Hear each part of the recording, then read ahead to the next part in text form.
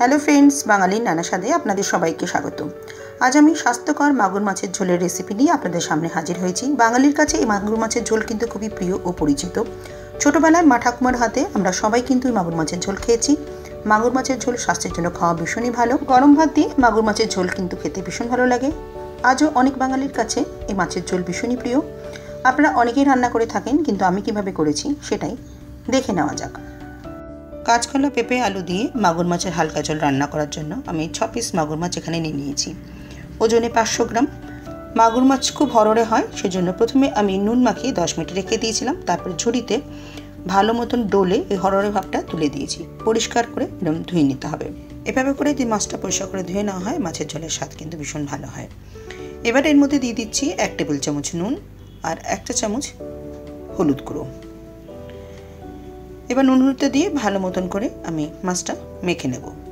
যেহেতু বড় সাইজের মাছটা ভালো মতন করে মেখে নিতে হবে আর মাছের মাথার মধ্যেও হাত দিয়ে নুনটা ভালো করে লাগিয়ে দিতে হবে। মাগুর মাছ ছাড়া শিং মাছ বা যে কোনো জ্যান্ত মাছের ঝোল এভাবে করে নিতে পারেন। ভালো করে নুন মাখানো হয়ে গেছে, দশ মিনিট রেখে দেবো। সবজিটা আমি কেটে নিয়েছি, ছ টুকরো পেঁপে নিয়েছি, দু টুকরো কাঁচকলা আর ছ টুকরো আলু। সবজিগুলো আমার সব ধোয়া আছে, আমাদের বাড়িতে কাঁচকলা সবাই খেতে পছন্দ করে না, তাই জন্য দু টুকরো নিয়েছি।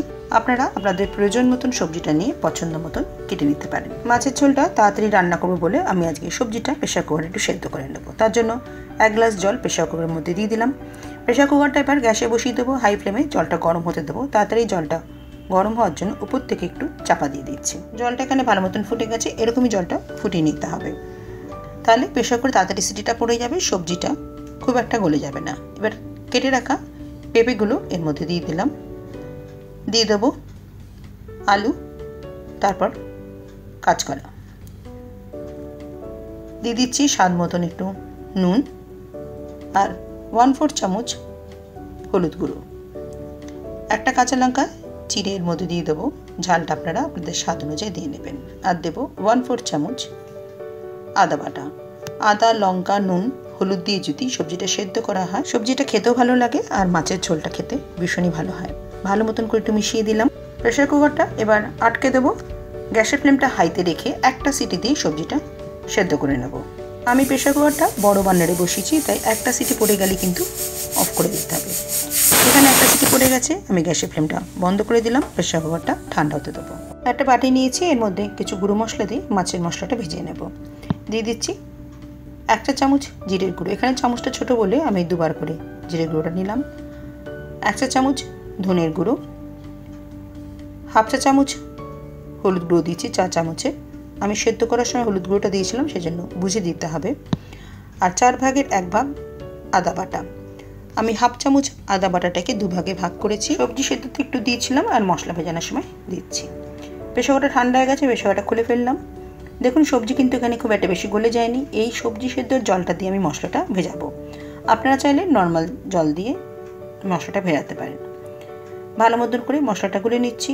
আপনারা বাটা মশলা দিয়েও কিন্তু মাছের ঝোলটা করতে পারেন। গ্যাস একটা কড়া বসিয়ে দিচ্ছি। কড়া গরম হয়ে গেছে, দিয়ে দিচ্ছি চার টেবিল চামচ সর্ষে তেল। তেলটা ভালো মতন গরম হতে দিতে হবে। তেল গরম হয়ে গেছে, গ্যাসের ফ্লেমটা লোতে রেখে নুন মেখে রাখা মাগুর মাছ দু পিস দিয়ে দিলাম। ফাটছে বলে একটু চাপা দিয়ে দিলাম। দু মিনিট পর ঢাকাটা খুলে আরেক পিস মাছ আমি দিয়ে দিলাম। আমি তিন পিস করে মাছটা ভেজে নেব। গ্যাসের ফ্লেমটা লোটু মিডিয়ামে রেখে দু থেকে তিন মিনিট সময় ধরে মাছটা একটু ভেজে নিতে হবে। একটা পিঠ হয়ে গেছে, আমি মাছগুলো উল্টে দিচ্ছি। আপনারা আপনাদের পছন্দ মতন মাছটা ভেজে নেবেন। খুব একটা কড়া করে ভাজবেন না। আবার একটু চাপা দিয়ে দু মিনিট হতে দেবো। দু মিনিট হয়ে গেছে। ঢাকাটা খুলে আমি মাছগুলো এবার একটা থালায় তুলে নেব। গ্যাসের ফ্লেমটা এখন আমি লোতে করে দিয়েছি। এই তেলেতেই বাকি তিন পিস মাছ দিয়ে দিলাম। ঢাকা দিয়ে গ্যাসের ফ্লেমটা লো টু মিডিয়ামে রেখে মাছটা উল্টে পাল্টে পিস মাছ এখানে ভাজা হয়ে গেছে। গ্যাসের ফ্লেমটা লোতে রেখে আমি এই তিন পিস মাছ তুলে নেব। সব মাছ ভেজে তুলে নিয়েছি। এবার ওই তেলেতেই ছোট দুটো শুকনো লঙ্কা ফোড়নে দিয়ে দিলাম। আর হাফ চামচ পাঁচ ফোড়ন দিচ্ছি। গ্যাসের ফ্লেমটা লোতে আছে। আর দুটো তেজপাতা ছিঁড়ে এর মধ্যে দিয়ে দিচ্ছি। এক মিনিট এই মশলাগুলো একটু ভেজে নেব। সুন্দর মশলা ভাজার গন্ধ বেরোলেই গুলে রাখা মশলাটা আমি এর মধ্যে দিয়ে দেবো। গ্যাসের ফ্লেমটা লোতে রেখে দু মিনিট মশলাটা কষে নিতে হবে। দিয়ে দিচ্ছি স্বাদ মতন একটু চিনি। স্বাদের ব্যালেন্সের জন্য চিনি দিতে হবে। চিনিটা দিয়ে ভালো মতন করে মিশিয়ে নিলাম। আপনারা যদি ছোট বাচ্চাদের জন্য রান্না করেন, তাহলে কাঁচা লঙ্কা সেদ্ধ তো দেবেন না আর ফুরনও দেবেন না। একটা ছোটো টমেটোর হাফ কেটে এর মধ্যে দিয়ে দিলাম। আর দু মিনিট এটা একটু হতে দেবো। টমেটোটা একটু নরম হয়ে গেলে কিন্তু হয়ে যাবে। টমেটো এখানে অনেকটা নরম হয়ে গেছে। এবার একটু কষিয়ে নিচ্ছি। মশলার থেকে তেল ছেড়ে দিলে মনে করবেন ভালো মতন মশলাটা কষানো হয়ে গেছে। মশলার থেকে তেল ছেড়ে দিয়েছে, এবার হাফ কাপ মতন জল এর মধ্যে দিয়ে দিলাম। দিয়ে ভালো মতন গুটু মিশিয়ে নিচ্ছি। এই মশলা জলের মধ্যেই আমি ভেজে রাখা মাগুর মাছগুলো দিয়ে দেব। ভালো করে একটু মিশিয়ে নিচ্ছি। গ্যাসের ফ্লেমটা লো টু মিডিয়ামে রেখে দু মিনিট মাগুর মাছগুলো এই মশলার সঙ্গে একটু কষিয়ে নেব। এভাবে করে যদি মশলার সঙ্গে মাছগুলো কষিয়ে নেওয়া হয়, মাছের ঝোলের স্বাদ কিন্তু ভীষণই ভালো হয়। একটা কাঁচা লঙ্কা চিড়ে এর মধ্যে দিয়ে দিলাম। ঝালটা আপনারা আপনাদের স্বাদ অনুযায়ী দিয়ে নেবেন। আর দেবো হাফ চা চামচ গোলমরিচ গুঁড়ো। এই রেসিপিতে কিন্তু গোলমরিচ দিতেই হবে, আপনারা চাইলে বেটেও দিতে পারেন। ভালো মতন করে একটু মিশিয়ে নেব। আপনারা যদি খুব ছোট বাচ্চাদের জন্য মাছের ঝোলটা রান্না করেন, তাহলে কাঁচা লঙ্কা দেবেন না।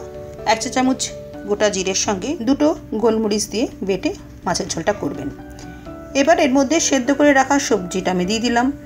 আপনারা যে যেরকম ঝোল রাখতে চান সে অনুযায়ী এখানে জলটা এখানে অ্যাড করতে হবে। আমি এখানে এক কাপ মতন জল দিয়ে দিলাম। যেহেতু একটু হালকা ঝোল করব, ভালো মতন করে মিশিয়ে নিচ্ছি। দেখুন, সবজিগুলো কিন্তু একদম গলে যায়নি। ভালো মতন করে মিশিয়ে নিয়ে গ্যাসের ফ্লেমটা বাড়িয়ে দেবো ঝোলটা ফোটার জন্য। এভাবে করে সেদ্ধ করে মাছের ঝোল রান্না করে দেবেন খেতে ভীষণ ভালো লাগে। আর খুব তাড়াতাড়ি রান্নাটা হয়েও যায়। আপনারা চাইলে ভেজেও করতে পারেন, কিন্তু আমি বলব একবার এভাবে রান্না করে দেবেন মাছের ঝোলটা খেতে কিন্তু ভীষণই ভালো হয়। মাগুর মাছের ঝোলটা ফুটে গেছে। এবার গ্যাসের ফ্লেমটা লো টু মিডিয়ামে করে দিয়ে তিন থেকে চার মিনিট এটা একটু হতে দেবো। তিন মিনিট পর ঢাকাটা খুলে ফেললাম। গ্যাসের ফ্লেমটা লোতে করে দিয়ে এই সময় একটু চেক করে নেবেন আপনাদের স্বাদ অনুযায়ী নুন, ঝাল, মিষ্টি যেটা লাগবে দেখে দিয়ে নেবেন। আমি দেখে নিয়েছি এখানটা নুন কম আছে, তাই স্বাদ মতন নুন দিয়ে দিচ্ছি, নুনটা দিয়ে ভালো মতন মিশিয়ে দু মিনিট ফুটিয়ে নেব। ঝাল কম আছে বলে এক চামচ গোলমরিচ গুঁড়ো আমি এর মধ্যে দিয়ে দিলাম। আপনারা চাইলে কাঁচা লঙ্কা দিতে পারেন, ঝালটা আপনারা আপনাদের স্বাদ অনুযায়ী দিয়ে নেবেন। গোলমরিচের গুঁড়োটা কিন্তু এই মাছের ঝোলের স্বাদটাকে দ্বিগুণ করে দেয়। ভালো মতন করে মিশিয়ে নিলাম, মাছের ঝোল আমার এখানে হয়ে গেছে গ্যাসের ফ্লেমটা বন্ধ করে দেবো। ঢাকা দিয়ে দু মিনিট স্ট্যান্ডিং টাইমে রেখে দেবো, যাতে গোলমরিচের ফ্লেভারটা ভালো মতন মাছের ঝোলের মধ্যে হয়ে যায়। দু মিনিট পর আমি ঢাকাটা খুলে ফেললাম। মাছের ঝোল আমার একদম তৈরি সার্ভ করার জন্য আমি একটা পাত্রে তুলে নিচ্ছি। গরম ভাত দিয়ে এই মাগুর মাছের ঝোল খেতে কিন্তু ভীষণই ভালো লাগে। ছোট থেকে বড়, আমরা সবাই কিন্তু মাগুর মাছের ঝোল খেতে পারি। স্বাস্থ্যের জন্য মাগুর মাছের ঝোল খাওয়া ভীষণই ভালো। সবজিগুলো কিন্তু একদমই গলে যায়নি, গোটা আছে। সেদ্ধটা আপনারা এইট্টি পার্সেন্ট করে নেবেন। বাকিটা যখন ঝোল ফুটবে হয়ে যাবে। একবার এভাবে করে সেদ্ধ করে ঝোল রান্না করে দেখবেন, খেতে কিন্তু ভীষণই ভালো হয়। আজকে আমার রেসিপি ভালো লেগে থাকলে একটা লাইক করে সবার সাথে শেয়ার করার অনুরোধ রইল। আমার চ্যানেলটা সাবস্ক্রাইব করে দেবেন, পাশে থাকা বেল আইকনটা প্রেস করে দেবেন নোটিফিকেশন পাওয়ার জন্য। আবার কোনো নতুন রেসিপি নিয়ে আমি আপনাদের সামনে হাজির হয়ে যাব। আপনারা সবাই ভালো থাকবেন, সুস্থ থাকবেন। নমস্কার।